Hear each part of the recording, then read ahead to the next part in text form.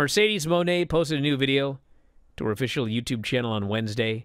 Features her doing some in ring training, running the ropes, taking part in various drills. Description on YouTube reads, and this is quite descriptive Mercedes Mone is back in the ring. So, anyway, she'll be back soon. Rocky Romero talked to Wrestle Purist. Can't believe he cheated on us. I honestly don't have any update right now. He said, I hope I'll be talking to her agent, maybe her soonish. I honestly don't have any update yet about anything. The last thing I heard was she was recovering well. Basically, they were going to let me know, reach out when she was getting close to a comeback. Not really sure where we are at. Why don't you read that like you read uh, Punk's promo from Monday night? Put some fire into that. Put some put some some rock into that. Come on. Did you see the difference in the two promos for crying out loud?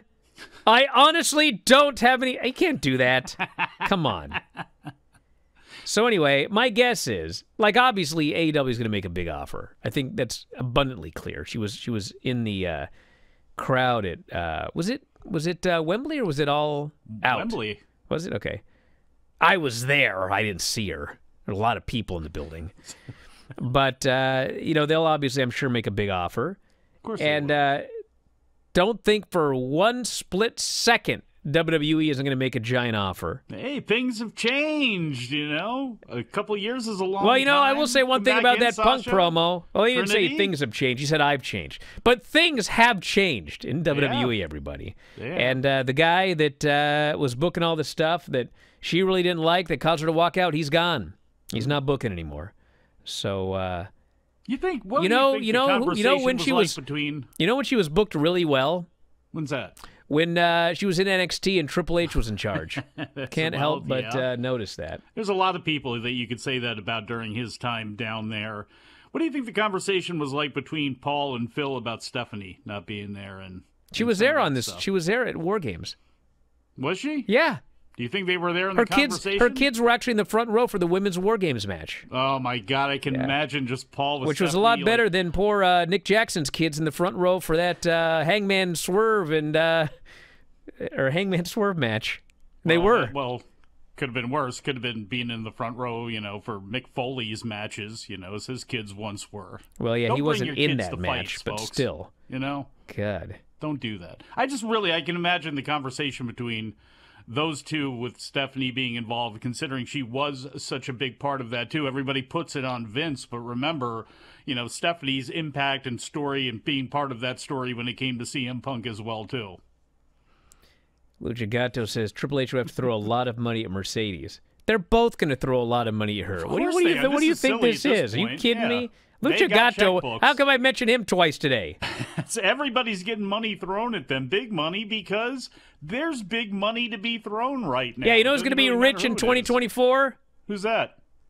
Drew, Drew McIntyre, brother. Sasha. Yeah, Who else is coming due? Anybody else coming due in 2024 is going to be rich. yeah.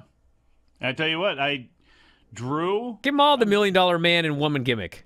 AEW would love to have him. There are people there that work with Drew, you know, in WWE, and then in his exploits out on the Indies and stuff like that. But man, is he in a good position now? And there are a lot of people in there, and I'm sure he's in that position because they want to keep him happy. But man, he really is the access that everything is going off of on Raw right now.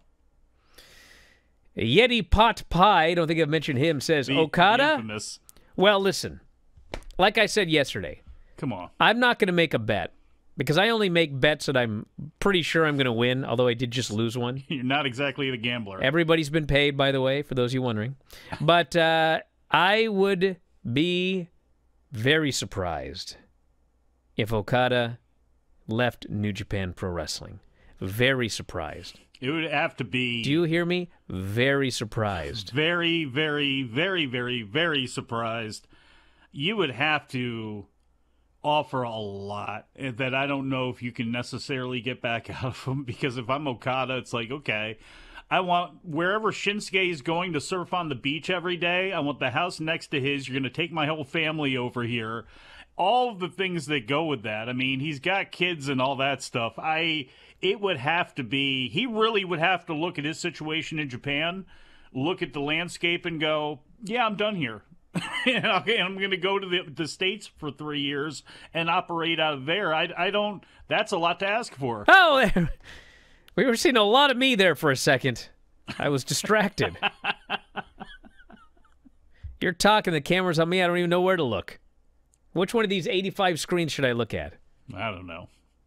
I remember Never we first remember when we first started video and I looked at the camera and everyone was totally creeped out, so I stopped that. Oh, is that why? Yeah, they didn't like me looking at them. I heard a lot of that. Plus, I gotta I gotta look at you right there. Mm-hmm. We're not fancy enough to have one of those things. All right. What have what have we got in the uh, text message bin? 425-780-7566 is the text message number. And also, I, I should note that if you want to email me, f4wonline at gmail.com. That's f4wonline, like the website, at gmail.com. Do not use Bryan at WrestlingObserver.com.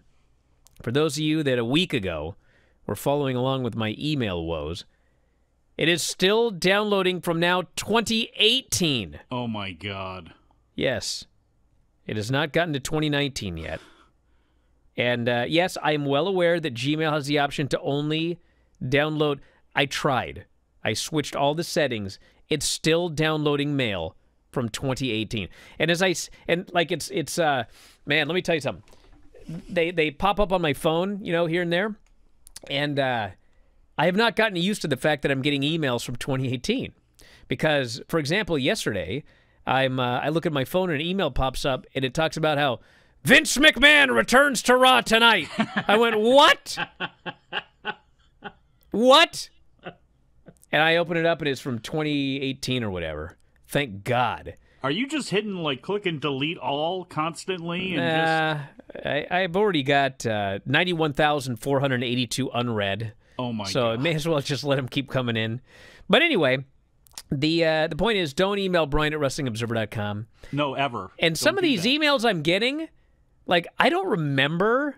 So I'm wondering if, like, I haven't gotten emails. Like, I've had people send to Bryan at WrestlingObserver.com and I've gotten them.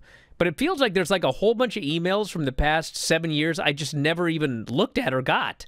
So, anyway, if you're listening to this and you've emailed me at some point over the last seven years and I ignored you, sorry. It wasn't my fault.